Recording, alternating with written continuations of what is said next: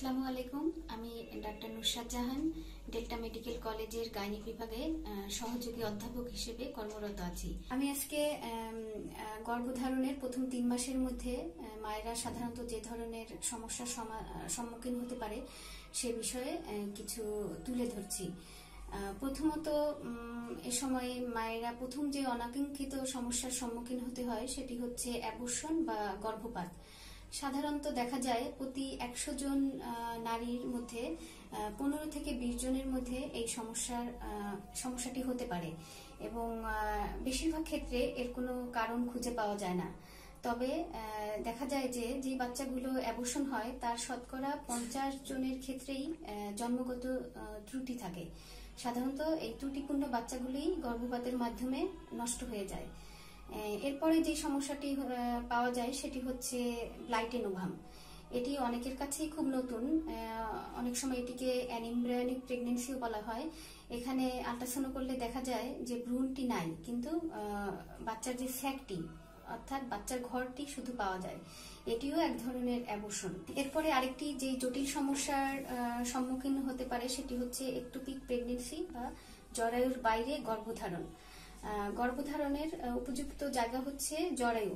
যদি কোনো কারণে ভ্রূণটি জরায়ুতে না এসে এটি টিউবেই থাকে অথবা অন্য কোনো জায়গায় চলে যায় নর্মাল জায়গা ছাড়া, তবে এটিকে একটোপিক প্রেগনেন্সি বলা হয়। এবং সবচেয়ে বড় ব্যাপার হচ্ছে যদি এটি সময় মতো ডায়াগনোসিস না করা যায় এবং মায়েরা সময় মতো ডাক্তারের কাছে না যায়, তবে একে, এতে অনেক মৃত্যু ঝুঁকি থেকে থাকে। এটি আসলে ডায়াগনোসিস করা সব ডাক্তারের জন্য একটি বড় চ্যালেঞ্জ কারণ গর্ভধারণের খুব অল্প সময়ের মধ্যেই এটি লক্ষণ প্রকাশ হয়।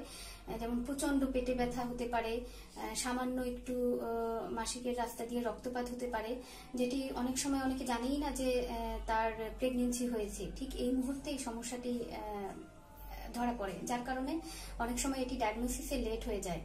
তো এই সব সমস্যা যাতে এড়ানো যায়, যাতে প্রিভেন্ট করা যায়, এজন্য প্রত্যেক গর্ভবতী মায়ের উচিত প্রেগনেন্সি টেস্ট পজিটিভ হওয়ার সাথে সাথেই একজন ডক্টরের শরণাপন্ন হওয়া এবং আলট্রাসোনোগ্রামের মাধ্যমে তার প্রেগনেন্সিটা সঠিক অবস্থানে আছে কিনা এবং এটি একটি সুস্থ ভ্রূণ কিনা, এটি দেখা। এছাড়াও আরেকটি জিনিস খেয়াল রাখতে হবে যেসব মায়েদের আগের থেকে কিছু সমস্যা থাকে, যেমন ডায়াবেটিস, প্রেশার বা থাইরয়েডের সমস্যা এবং যারা এর জন্য ওষুধ খেয়ে যাচ্ছেন তাদের কিন্তু প্রেগনেন্সির সাথে সাথে ডক্টরের কাছে গিয়ে এই ওষুধগুলো অনেক সময় চেঞ্জ করা লাগে। এটি বাড়ানো, কমানো বা অনেক সময় যেই ওষুধগুলো গর্ভের বাচ্চার জন্য ক্ষতিকর, সেগুলো চেঞ্জ করে অন্য ওষুধ দেওয়া লাগে। তো এই বিষয়গুলো খেয়াল রাখতে হবে প্রথম তিন মাসের মধ্যে। এছাড়া আরেকটি ব্যাপার হচ্ছে ডায়াবেটিস এবং থাইরয়েডের সমস্যা। এটি যদি আনকন্ট্রোল থাকে, তবে এটি কন্ট্রোল করে সবার গর্ভধারণ করা উচিত। কারণ ডায়াবেটিস আনকন্ট্রোল থাকলে অথবা থাইরয়েডের সমস্যা থাকলে, এটি কিন্তু গর্ভের ভ্রূণের জন্য মারাত্মক সমস্যা সৃষ্টি করে। দেখা যায় বিভিন্ন ধরনের জন্মগত ত্রুটি, মানসিক বিকাশের সমস্যা, এই ধরনের সমস্যাগুলো হয়ে থাকে। তাই প্রত্যেক মায়েদের এই প্রথম তিন মাস খুবই সাবধানে থাকতে হয়। আমরা সাধারণত বলি প্রথম তিন মাস এবং শেষ তিন মাস সাধারণত একটু ঝুঁকিপূর্ণ টাইম তাই এই সময়ে ডাক্তারের পরামর্শ নেওয়া এবং উপদেশ নেওয়া খুবই গুরুত্বপূর্ণ সকল মায়েদের জন্য। ধন্যবাদ। Click the subscribe button and press the bell icon.